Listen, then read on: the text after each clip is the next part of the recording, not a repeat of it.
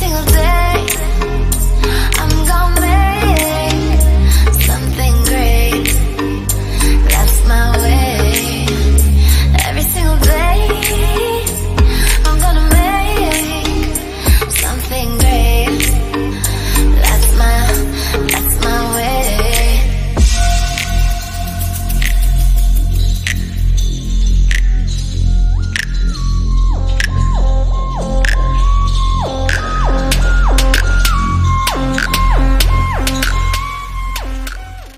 Hello guys मैं हूँ Ashu. After a long time मतलब काफ़ी टाइम हो गया और हम वापस आए हैं। हम क्या, कल शायद अनिमेश भी वापस आ गया था। उसकी वीडियोस आपके पास आ गई होंगी। और दिक्कत यही आ रही है कि हम दोनों काफ़ी दूर हैं। सिटीज़ में काफ़ी डिस्टेंस है। वो हैदराबाद में है। मैं यहाँ पे अपने घर पे हूँ। तो काफ़ी मुश्किल हो जाता है इस समय वीडियोस बनाना। पहले क्या था कि साथ में थे तो वीडियोस बनाना आसान होता था। कोई भी किसी के घर पहुँच जाता था। और वीडियोस बन जाती थी, पर अब थोड़ा सा ऐसा नहीं है, थोड़ा दिक्कत होती है। इस पीछे थोड़ा सा वो कहते हैं ना कि, क्या कहते हैं, थोड़ा सा क्रेज़ में कमी आ जाती है इस पीछे, क्योंकि थोड़ा सा जो कॉन्फिडेंस लूज़ होता है, जब साथ में होते हैं तो काम करने का मन भी ज़्यादा करता है।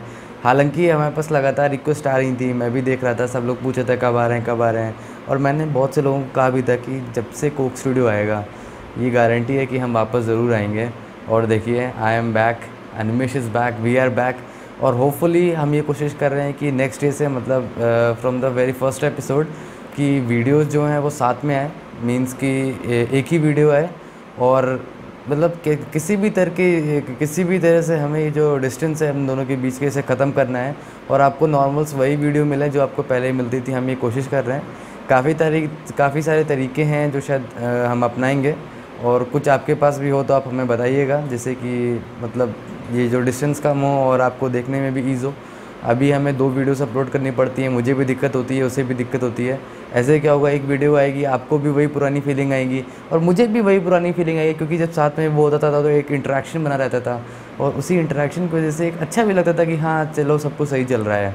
चलिए, ज़्यादा टाइम नहीं लूँगा। तो सबसे इम्पोर्टेंट पॉइंट ये था कि कोक स्टूडियो सीज़न ट्वेल्व आ गया है और जैसा कि लास्ट टाइम हुआ था मींस अली हमज़ा के टाइम पे जब वो लास्ट ईयर प्रोड्यूस कर रहे थे, आखिरी सॉन्ग में या फिर कुछ एक दो सॉन्ग ऐसे थे जो काफ़ी, कहते हैं, जो कोक स्टूडियो की जो ऑलरेडी पहले से एक जो मेकअप बना हुआ है कि वो एक पर्टिकुलर इसी टाइप के सॉन्ग निकालता है, या फिर आप कह सकते हैं कि मतलब काफ़ी एक नया टच देता है। उन्होंने वैसा किया, ऐसी बात नहीं किया उन्होंने नया टच नहीं दिया या फिर कोई नए सॉन्ग नहीं है, लेकिन उन्होंने काफ़ी एक्सपेरिमेंटल किया है। मतलब काफ़ी नए नए सॉन्ग्स लाए, जैसे हमारे पास मलंग था, राशा मामा था और शायद हाँ मलंग भी था, जहाँ तक मुझे याद आ रहा है और कई सारे सॉन्ग आए थे। स्टार्टिंग उन्होंने शिकवा, जवाब शिकवा से की थी और उसके बाद आतिश और ये कई सारे सॉन्ग्स थे जो मुझे याद आ रहे हैं, जो बीच बीच में आए थे, लगातार आ रहे थे। तो उस समय प्रोड्यूसर्स अलग थे, इस समय जो न्यूज़ आ रही है कि प्रोड्यूसर्स हमारे बदल गए हैं हमारे चहेते मतलब हमारे क्या चहेते, मेरे चहेते तो अली हमज़ा ही थे। और अभी भी हैं, ऐसी बात नहीं है। और ऐसा नहीं है कि रॉयल हयात के लिए मेरे मेरे लिए कोई अलग से मतलब गलत फीलिंग्स है, ऐसा कुछ नहीं है। मैंने उनको सामने फील किया है विजुलाइज़ किया है सो मुझे अली हमजा थोड़ा ज़्यादा पसंद है। और उसके बाद देखते हैं इस कोक स्टूडियो में क्या होता है। जब हमारे पास नए प्रोड्यूसर्स होंगे, मेरे ख्याल से उन्होंने टीम लाइनअप में भी काफ़ी चेंजेस किए हैं। बहुत सारे लोग ऐड हुए हैं, बहुत सारे लोग बाहर निकाले गए हैं।